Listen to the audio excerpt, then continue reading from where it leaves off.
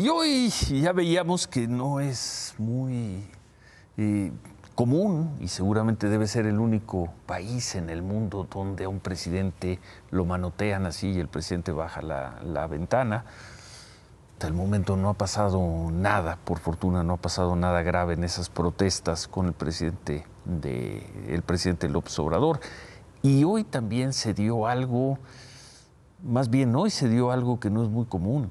El presidente López Obrador hizo no una defensa, pero habló muy bien del ex gobernador de Nuevo León, Jaime Rodríguez, Jaime Rodríguez el Bronco, quien lleva, pues van a ser ya, el fin de semana se van a cumplir dos meses preso en una cárcel con muy mal estado de salud.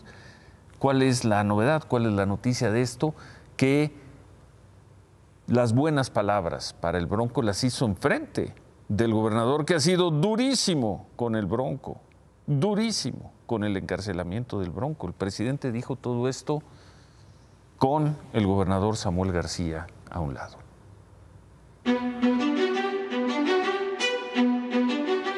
Y yo le mando un abrazo al gobernador que está detenido.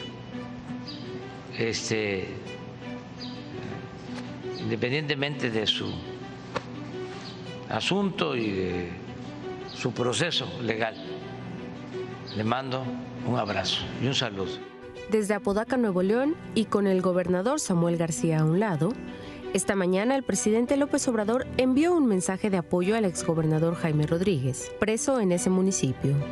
En lo personal, yo considero que debe de haber un trato, no es... Eh, de privilegio excepcional, tiene que tomarse en cuenta la cuestión de salud, la cuestión humanitaria.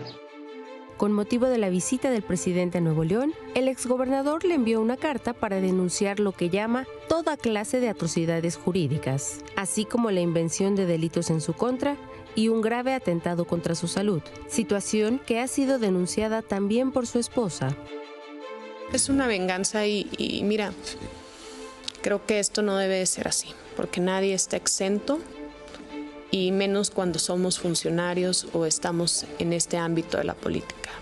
Pero hoy lo dije yo en mis redes, la salud no debe ser venganza. Y hoy la vida de Jaime está en juego de, y en manos del gobierno. En una carta publicada la semana pasada, Jaime Rodríguez Calderón denunció irregularidades en su detención y acusó directamente al gobernador Samuel García de haber divulgado su detención en redes sociales antes de que le presentaran la orden de aprehensión. También acusó a policías estatales de haberlo fotografiado ilegalmente mientras estaba siendo detenido, fotografías que fueron divulgadas ese mismo día. La difusión de las fotos del exgobernador detenido fue duramente criticada por el presidente López Obrador en su momento. Aseguró que eran un ataque a la dignidad y al honor.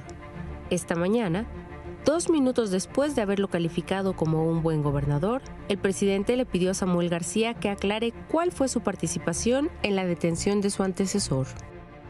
Y hacer a un lado la sospecha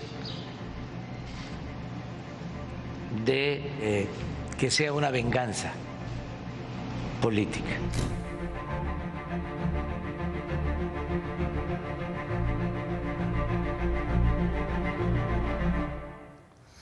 Qué momento hoy allá en Apodaca, en Nuevo León.